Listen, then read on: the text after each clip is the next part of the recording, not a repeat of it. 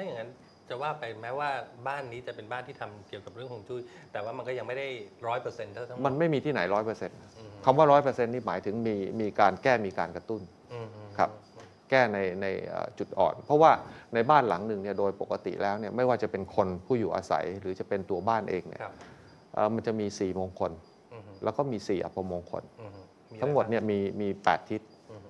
ก็เป็นความมงคลเนี่ยแตกต่างกันอยู่ 4 อย่าง แล้วก็เป็นความอัปมงคลที่แตกต่างกันอยู่ 4 อย่างในชีวิตของของคนและวงจรของบ้านอืมอะเพราะฉะนั้นเวลาที่เราเอ่อเข้ามาเนี่ยเราก็จะต้องแก้ความเป็นอัปมงคล เพื่อไม่ให้มันแสดงฤทธิ์อืมในขณะเดียวกันเนี่ยเราก็จะต้องกระตุ้นความเป็นมงคล เพื่อให้มันปรากปรากฏฤทธิ์อืมอืมอะหรือแสดงผลออกมาคุณผู้ชมก็สบายใจได้นะครับอ่าอย่างที่อาจารย์บอกไม่มีบ้านหลังไหนนะฮะที่จะถูกต้องตามหลักฮวงจุ้ยซะร้อยเปอร์เซ็นต์มันก็คือเราเข้าไปอยู่เราต้องมีการปรับปรุง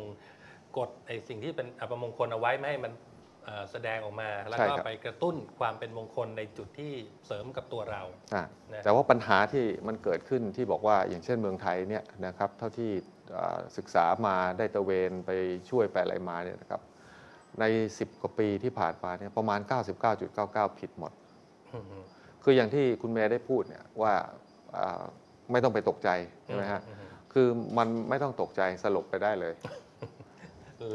คือพอเข้ามาเนี่ยอือฮึในความเป็นอัปมงคลก็ไปทำให้มันเป็นอัปมงคลมากขึ้นอืมในความเป็นมงคลก็ไปทำลายความเป็นมงคลด้วยความไม่รู้ ด้วยความไม่รู้ซะอ่าเป็นส่วนใหญ่เพราะฉะนั้นพอพอเข้ามาเนี่ยอืมทั้งมงคลและอัปมงคลมันรวมพวกกันกลายเป็นอัปมงคลหมดอืมชีวิตก็เลยพบแต่ความที่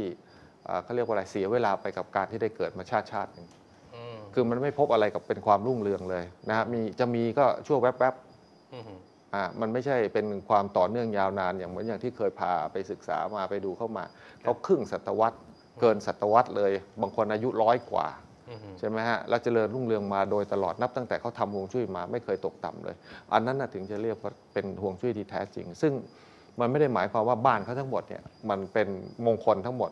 แต่ว่าเขารู้ว่าตรงไหนมันเป็นมงคล และตรงไหนเป็นอัปมงคลอืมตรงที่เป็นมงคลเราใช้ให้บ่อยอืม ตรงที่เป็นอัปมงคลเราพยายามเลี่ยงการใช้อืมหรือใช้เป็นจุดที่ไม่สำคัญอ